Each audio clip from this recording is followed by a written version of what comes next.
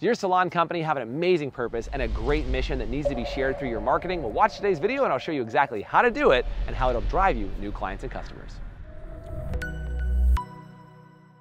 Hey, it's Jason Everett from HighPerformanceSalon.com, and today's video is brought to you by Sustain Beauty Co. Sustainability is a journey we must all take together. Marketing and getting people through the door of your salon is more challenging than ever because you have a lot of competition, right? There's a salon down the street, across town, they're all competing for the exact same clients and customers. So if you have a very powerful mission as your salon company and as your brand, and maybe that has to do with sustainability, maybe it has to do with your charitable contributions, maybe there's an element of your business that you want to showcase and actually make sure that people understand it, you have to have it incorporated into every aspect of your business. So let me give you an example using the exact same type of business hotels. We've all been to hotels before, and some of you guys have seen this where it says, hey, due to water shortages, we are reducing the amount of towels that we wash in our hotel. So if you don't want us to wash your towel, leave the towel up, hang it over the shower. But if you do want it washed, please leave it on the floor and we'll take care of it for you. That's a great example of sustainability inside hotels because it's good for the guest, it's good for the environment, and it benefits everyone. But hotels have recently started to get a little bit more obnoxious with this, and they said, hey, we're working on sustainability, so we're just not gonna clean your room anymore. We're not gonna change your towels. We're not gonna do anything because that's better for the environment. And people kind of pushed back and they were like, hey, I know that might be better for the environment, but it's not also better for me.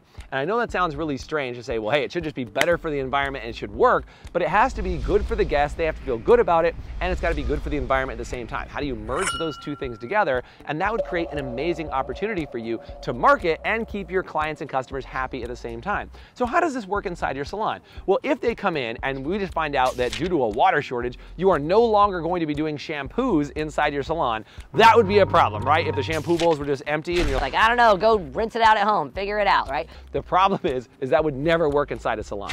So what you need to do instead is use other sustainable products inside your salon.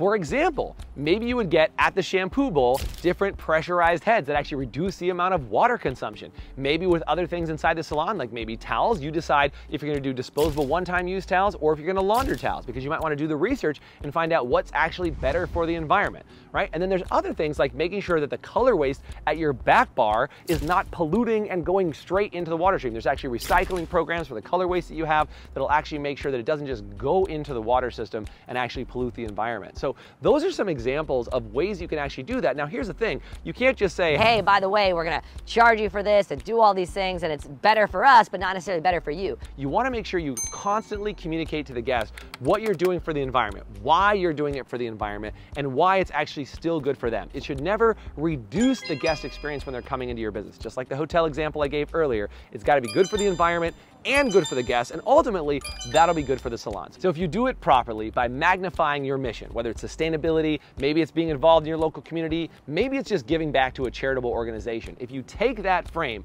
and you show your clients and customers how that works, it can create a massive difference inside your salon company for the affinity that your clients and customers have towards your salon, your brand, your stylist, and ultimately to your company. If you like this video and you want to see more content like it, do me a favor, we have a totally free Facebook group called the Profitable Salon Group. All you have to do is head over to Facebook, search Profitable Salon, and you will get access to our private Facebook group. And then also, if you liked it and you want to see more videos like this on YouTube, you can check out our YouTube channel. Do me a favor, have a great week, and I'll see you on another video soon.